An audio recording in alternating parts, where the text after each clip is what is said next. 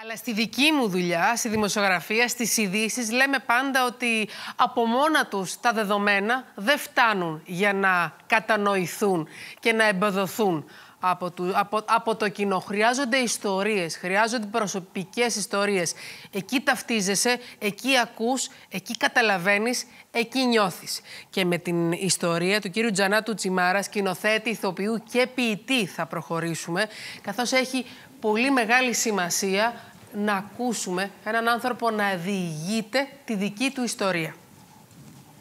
Παρακαλώ. Ευχαριστώ πολύ. Καλώς σας βρίσκω. Καλώς ήρθατε. Α, έχω να πω μια ιστορία, ένα χρονικό. Νομίζω πρέπει να έρθω εκεί.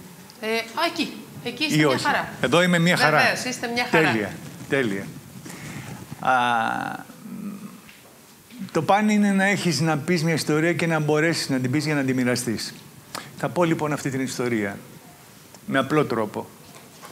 Μια μέρα άρχισα να χάνω τη φωνή μου.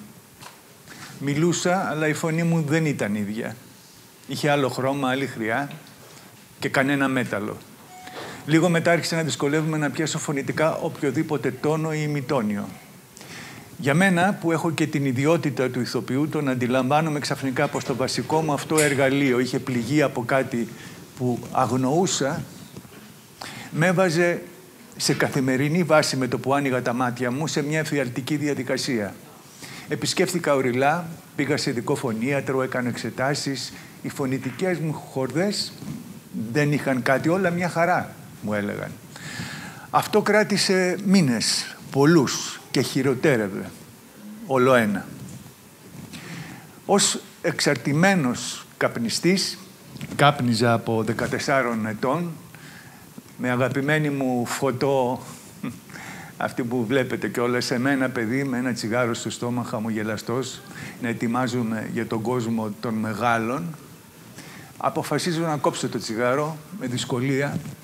Περνάω από το βιομηχανικό κεόμενο στο θερμενόμενο, χειροτερεύει η κατάσταση της φωνής μου, μετά ατμίζοντα τα ίδια, συνδυάζω σταδιακά πάτς νοικοτήνης, διαδικασία μηνών, σχεδόν κόβω πλήρως το τσιγάρο, αλλά η φωνή μου δεν επανέρχεται.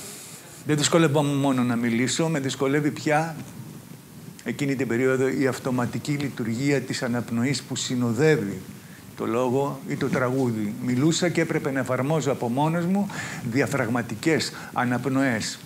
Αρχίζει να καταραίει η λειτουργία της αναπνοής. Και μαζί να καταραίω κι εγώ, σωματικά και ψυχικά.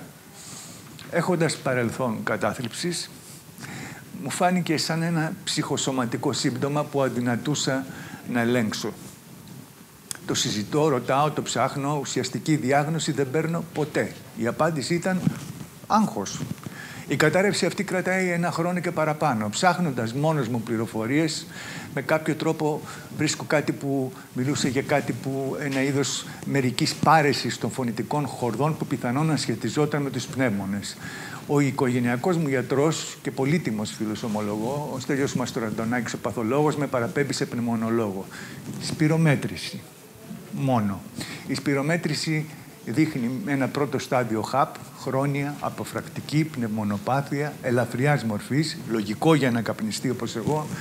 Μου χορηγεί κάποιο εισπνεώμενο για χρήση σε καθημερινή βάση πρωί και βράδυ. Περνούν τρεις μήνες, τίποτα δεν αλλάζει.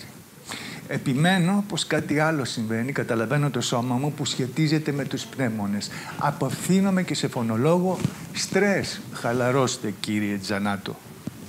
Ζητάω από τον οικογενειακό μου γιατρό τι εξετάσεις πνευμονολογικές ενδείκνυται. Αξονική πνευμόνων μου λέει. Αυτό είναι το σωστό. Είναι τέλη Ιανουαρίου του 2021. Ο οργανισμός μου περνάει μια παράδοξη έκλαμψη χαράς ελάχιστων ημερών, λες και συνέρχομαι από ένα breakdown. Κάνω την αξονική. Τρεις μέρες μετά παίρνω τα αποτελέσματα. Ένδειξη σοβαρή καρκινόματος στο δεξί πνεύμονα. Η χαρά εξαφανίζεται. Περνάει μια σκέψη στο μυαλό μου σαν παιδική που λέει «Δεν θα ξαναχαρείς πια». Ο πνευμονολόγος μου μου προτείνει κάποιο ειδικό απολύτου εμπιστοσύνης, Γρηγόρης Στρατάκος, το Σωτηρία. Καταφέρνω ως διαμαγείας να κλείσω ραντεβού μαζί του. Συναντάω έναν άνθρωπο ιδιαίτερων χαρισμάτων, μου επαληθεύει τη σοβαρότητα των ευρημάτων, καρκίνος, προτείνει πέτολο σωματική αξονική, μαγνητική εγκεφάλου. Καταφέρνω να τις κάνω άμεσα, έχοντας ταυτόχρονα την αγωνία πως πρέπει να γίνουν όλα μέσω του ή καλλιώς δεν θα μπορώ να το αντιμετωπίσω οικονομικά. Οι εξετάσεις επαληθεύουν κακοήθειες αδενοκαρκίνωμα στο δεξιό πνεύμονα, χωρίς μεταστάσεις, το μόνο καλό, σε κάποιο άλλο σημείο του σώματος. Περνάμε με το στρατάκος σε εμβερχοσκόπηση, τα πράγματα ξεκάθαρα. Ο στρατάκος μου κάνει ένα σκίτσο με τα σημεία των καρκινομάτων που το κρατάω ακόμα είναι αυτό που μόλις διακρίνεται. Βιοψία για πιθανή δυνατότητα νοσοθεραπείας στα δεδομένα μη ευνοϊκά χρειαζόμαστε τον κολόγο με τη βοήθεια του στρατάκου που πια τον λέω Γρηγόρη. Εκλεκτικές συγγένειες. Βρίσκει συνεργάτη του στη σωτηρία, το Γιάννη τον Γιώζο. Ξεκινάμε χημειοθεραπείες αρχέ Φλεβάρι. Πάω χαρούμενος. Περιβάλλον νοσηλεύτρης οργάνωση εξαιρετικά. Γνωρίζω την Κορίνα Πατέλη Μπέλ. Ακριβώς στη φάση που λίγο μετά πρέπει να ξεκινήσω ακτινοθεραπεία. Μεσολαβεί στον κύριο Πισάκας το Αλεξάνδρα, συναντώ ένα φωτεινό άνθρωπο με ουσιαστική ιατρική ηθική, με αναλαμβάνει η περίοδος των χημειοθεραπείων, τέσσερις των αριθμών τελικά, μου μαθαίνουν τι σημαίνει ζωντανός στην κόλαση. Βαφτίζω την κατάσταση αυτή, κατάσταση Λάζαρος, που δεν αντιδρά στο δεύρο έξω. Η γιατρός μου στις ακτινοβολίες, μια σπάνια περίπτωση αντίστοιχη του Πισάκα, Μαριάντζελα Καλογερίδη, επίσης εκλεκτική συγγένεια, 30 ακτινοβολίες, παράλληλα με τις χημειοθεραπείες.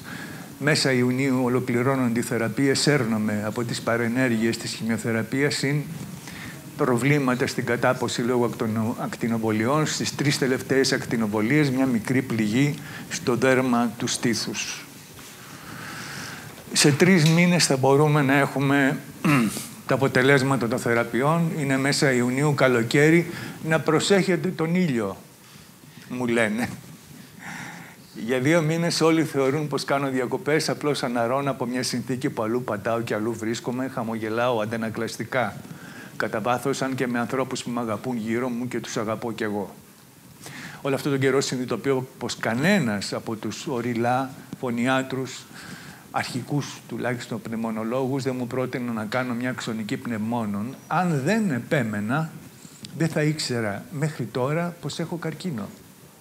Το σύμπτωμα της φωνής, αυτός ο βράγχος που κανείς δεν συνέδεσε με καρκίνο, με έσπροχνε να ψάχνω αυτό που τελικά με έσωσε σήμερα, την παρουσία ενός αδενοκαρκινώματος που χωρίς την αξονική πνευμόνων μπορεί να μην μάθαινα ποτέ. Πιθανόν κάποτε, κάποια χρόνια μετά, που θα ήταν ίσως πολύ αργά για μένα.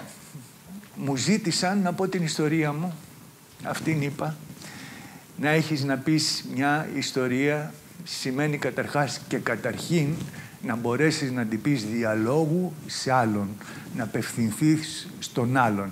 Αυτή η απεύθυνση στον άλλον μας βγάζει από το εγώ μας και σημασιοδοτεί τις συναντήσεις μας με τους άλλους και χτίζει ένα μαζί.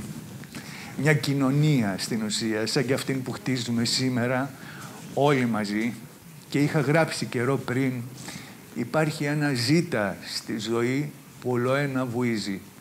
Δεν μας αφήνει στην νεκρική μας ησυχία. Ευτυχώς, λέω. Σας ευχαριστώ που είμαι εδώ και σας ευχαριστώ εκ πνευμόνων. Και το Λάζαρος έχει ένα ζητά. Και το Λάζαρος. Και είστε εδώ και η ιστορία σας έχει πραγματικά πολύ μεγάλη αξία για αυτή την πολύ μεγάλη, σοβαρή, σημαντική, σπουδαία συζήτηση που ανοίγουμε σήμερα. Σας ευχαριστούμε πάρα πολύ. Αν υπήρχε κοινό, σας διαβεβαιώ ότι θα σηκωνόταν όρθιο και θα χειροκροτούσε για πάρα πολλά λεπτά. Να είστε το καλά. Το χαμόγελο είναι επίσης δυνατό. Είναι το ίδιο σημαντικό. Ευχαριστώ πολύ.